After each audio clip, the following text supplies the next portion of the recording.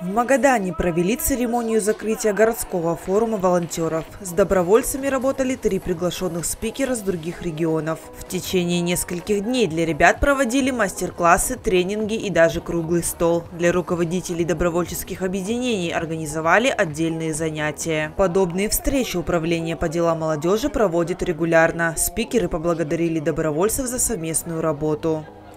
Я желаю вам не терять друг друга, вместе продолжать работать. Идеи хорошие, идеи здравые. э, И продолжайте двигаться в этом направлении. То, что вы делаете, это очень классно. И это очень важно для вашего региона. Организаторы планируют и дальше проводить подобные встречи. В Магадане более 20 волонтерских объединений и около 3000 добровольцев. Особенно важен их труд сейчас, в пандемию, отмечают специалисты. Они доставляют лекарства, продукты. Кроме того, занимаются пропагандой здорового образа жизни, а также помогают нуждающимся. команде